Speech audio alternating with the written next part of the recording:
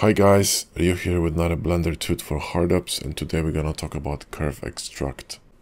Initially, Curve Extract was thought out to be a tool to create pipes with ease because creating pipes, if you know how to create pipes in Blender with curves, etc., you know how many steps it takes and how cumbersome it is, right?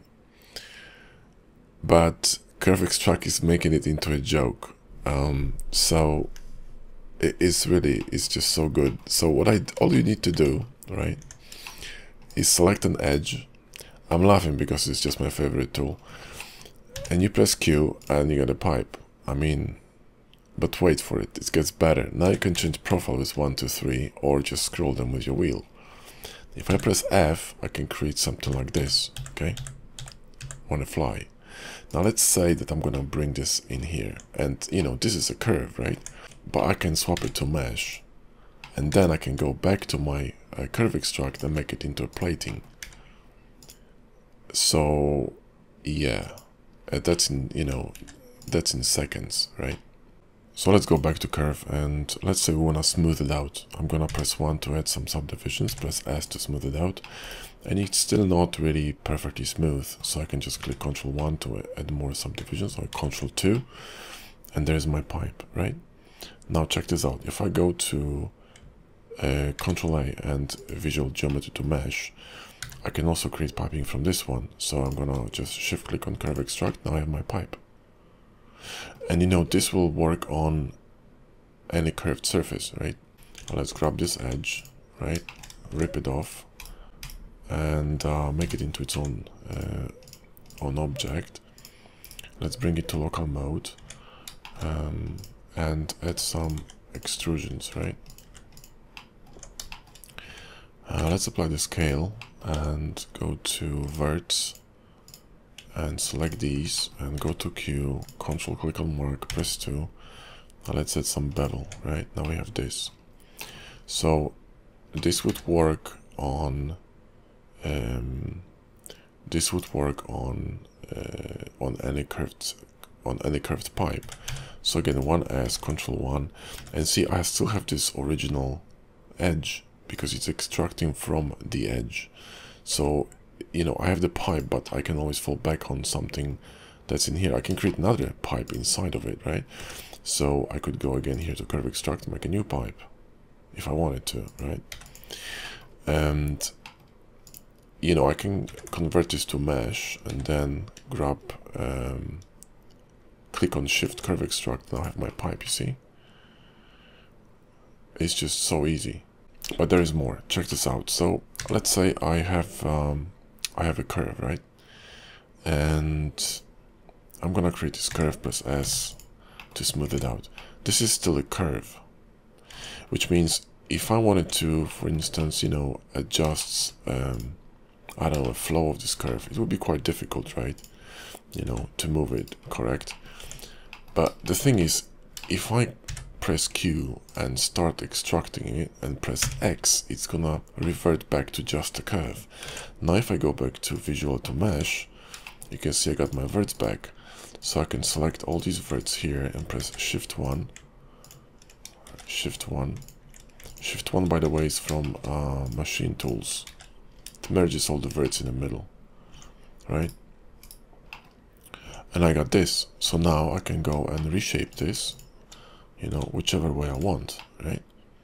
Now grab these verts again Q control click on mark press 2 to bevel it right? And I got this.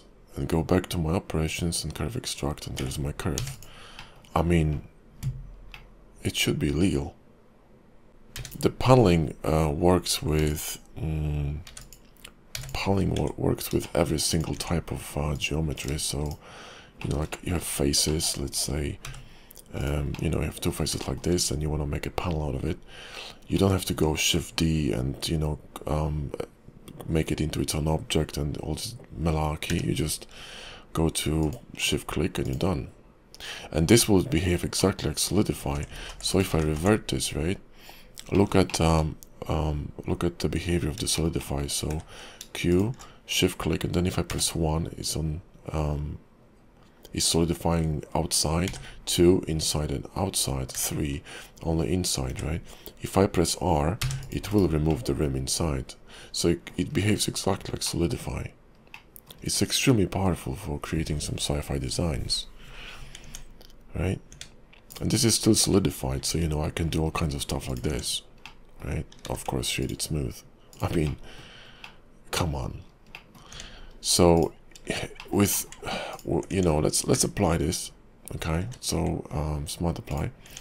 And let's grab this edge here with the curve extract you can create for example um, some sort of you know like piping or like um, um, like seals around windows or doors or washers and and so on with ease.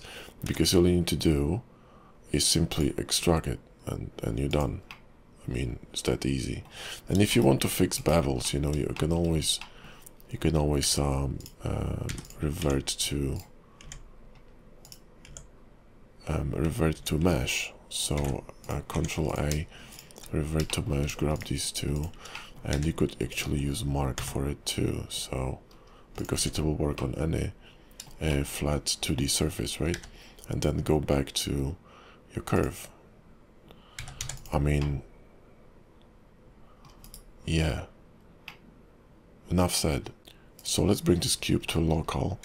Let's apply a bevel right? Let's apply some cutters uh, with it. So come on. One two maybe and let's sort of mirror it and apply weighted normals okay? So now we have this. Maybe one more one more here right so i got how many modifiers here um five right so bull bull bull bever and hard and uh, mirror um oh wait six and weighted normals so i got six modifier going on now if i press shift d I have all these modifiers still active, right? Now if I go to um, curve extract, you can see there is a control click extract. Now if you compare the modifier stack, it's exactly the same except for weighted normals.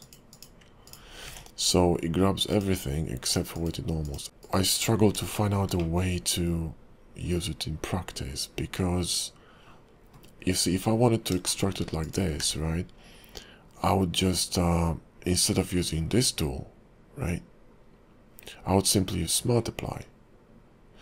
Uh, because multiply with Shift will allow me to duplicate this object and I will get bevels uh, removed, you know, and weighted normals removed and booleans applied. So all my modifiers are gone.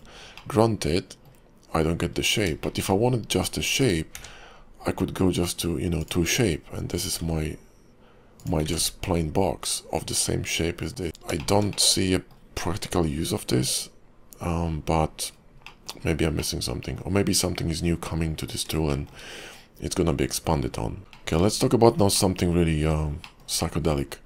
So if I go to, um, click on this cube and go to curve extract, I will extract every single edge.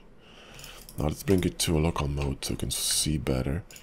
And if I press V and sort of cycle, I can cycle between different types of, uh, well, um, spline types, yeah?